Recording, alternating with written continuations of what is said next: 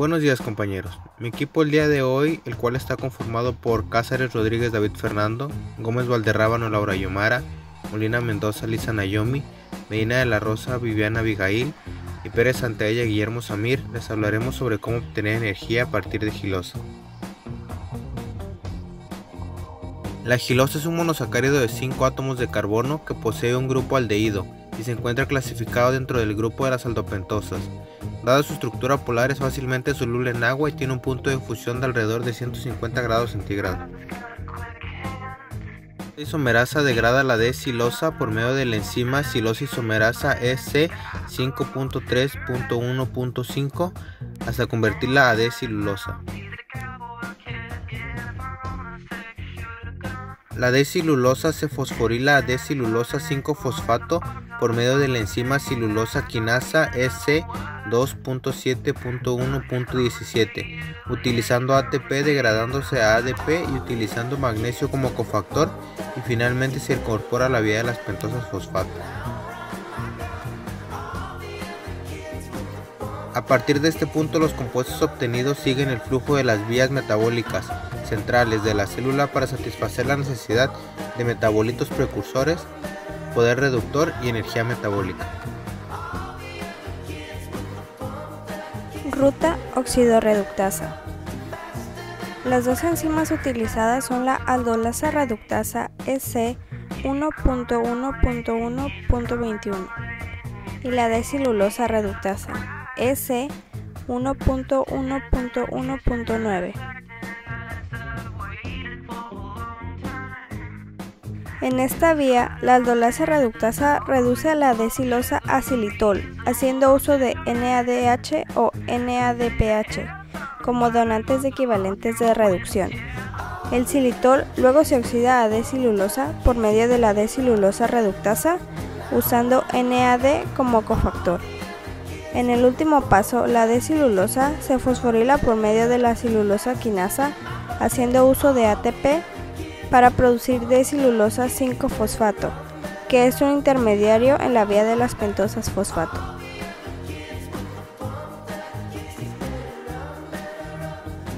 Debido a la gran cantidad de cofactores que requiere esta vía metabólica y al grado en que estos se encuentran disponibles para su uso, un desbalance de cofactores puede resultar en una acumulación del metabolito intermedio xilitol, si la regeneración de NAD resulta insuficiente. Esto ocurre típicamente bajo condiciones limitadas de oxígeno, o cuando se hace uso de levaduras que normalmente no fermentan la silosa, son modificadas genéticamente añadiéndoles esta ruta oxidorreductasa. Es bastante menos común en levaduras que naturalmente fermentar la silosa, ya que éstas poseen mecanismos para regenerar el NAD bajo condiciones limitadas de oxígeno.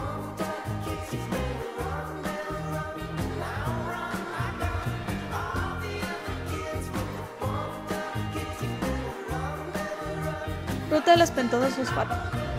La ruta predominante del catabolismo de la glucosa es la glucólisis para dar piruvato, seguida por la oxidación a CO2 en el ciclo del ácido cítrico. Un proceso alternativo es la ruta de las pentosas fosfato. Esta ruta actúa en dos fases, oxidativa y no oxidativa.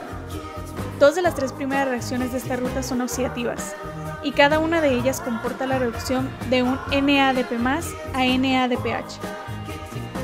Reacciones.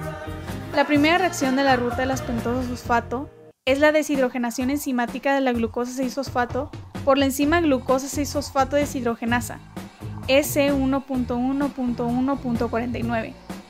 Esta forma 6-fosfogluconodelactona, un éster intramolecular. Este se hidroliza ácido libre 6-fosfogluconato por medio de una lactonasa, S3.1.1.31 experimenta una descarboxilación oxidativa por medio de la enzima 6-fosfogluconato deshidrogenasa S1.1.1.44 para dar CO2, otro NADPH y ribulosa 5-fosfato. El resultado neto de la fase oxidativa es la generación de 2 moles de NADPH, la oxidación de un carbono a CO2 y la síntesis de un mol de pentosa fosfato. En primer lugar, la ribulosa 5-fosfato se epimeriza a gilulosa 5-fosfato por medio de la enzima fosfopentosa epimerasa EC5.3.1.6. A continuación, se llevan a cabo una serie de reordenamientos de los esqueletos carbonados de los intermedios azúcares fosfato. 6 azúcares fosfato de 5 carbonos se convierten en 5 azúcares fosfato de 6 carbonos completando el ciclo y permitiendo la oxidación continua de glucosa 6-fosfato con producción de NADPH. Un mol de gilulosa 5-fosfato reacciona a continuación con un mol de ribosa 5-fosfato, el cual es catalizado por una transcetolasa EC2.2.1.1 que transfiere un fragmento de dos carbonos desde la gilulosa 5-fosfato a la ribosa fosfato para dar una fosfato, el gliceraldehído 3-fosfato y un azúcar de 7 carbonos, o sea, la acetoeptulosa 7-fosfato. El fragmento de dos carbonos transferidos es un fragmento glicolaldehído activado. La enzima transcetolasa necesita pirofosfato de tiamina, TTP, como cofactor, de manera que el fragmento de dos carbonos se une de forma transitoria al carbono 2 del anillo de tiazol del TPP. A continuación, la enzima transaldolasa EC2.2.1.2 actúa sobre los dos productos de la reacción de la transcetolasa con la transferencia de una unidad de hidroxiacetona de 3 carbonos, dando como producto un azúcar fosfato de 4 carbonos y un azúcar fosfato de 6 carbonos o sea, la eritrosa 4-fosfato y la fructosa 6-fosfato, respectivamente. La acción combinada de la transcetolasa y la transaldolasa convierte en dos azúcares fosfato de 5 carbonos en un azúcar fosfato de 4 carbonos y un azúcar fosfato de 6 carbonos. En la reacción final del catabolismo de las pentosas fosfato, la transcetolasa actúa sobre otra molécula de gilulosa 5-fosfato, transfiriendo un fragmento glicolaldehído a la eritrosa 4-fosfato y generando un producto de 6 carbonos, el gliceraldehído 3-fosfato y la fructosa 6-fosfato respectivamente. Hasta el momento la ruta ha necesitado la entrada de tres moléculas de pentosa fosfato, dos para la primera reacción de la transcetolasa y una para la segunda. Así pues, para resumir la ruta hasta este punto, debemos considerar el paso de tres moléculas de glucosa 6-fosfato a través de la fase oxidativa. Ahora los reordenamientos de la fase no oxidativa dan lugar a la conversión de tres pentosas en dos azúcares fosfato de 6 carbonos y uno de 3 carbonos. En la ecuación correspondiente a la reacción global, tres hexosas fosfato producen dos hexosas fosfato y una triosa fosfato, y tres moléculas de dióxido de carbono con una oxidación neta de 3 carbonos a dióxido de carbono.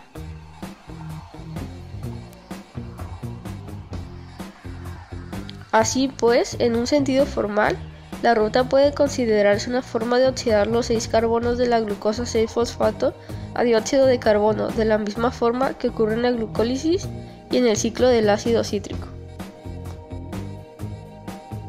Sin embargo, como se ha señalado antes, la ruta de las pentosas fosfato no es fundamentalmente una ruta de generación de energía. El destino real de los azúcares fosfato depende de las necesidades metabólicas de la célula en la que se está produciendo la ruta. Y la necesidad principal radica en la síntesis de nucleótidos y ácidos nucleicos, el principal producto de la ribosa 5-fosfato, y no se produce en la mayor parte de los ordenamientos de la fase no oxidativa si la necesidad principal es la generación de NADPH.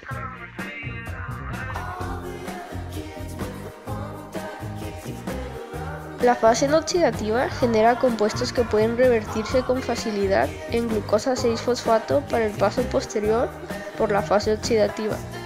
De este modo, las vueltas repetidas del ciclo dan lugar generalmente a la oxidación completa de la glucosa 6-fosfato a dióxido de carbono y agua, con la máxima generación de equivalentes reductores, obteniendo hasta el momento 24 ATPs.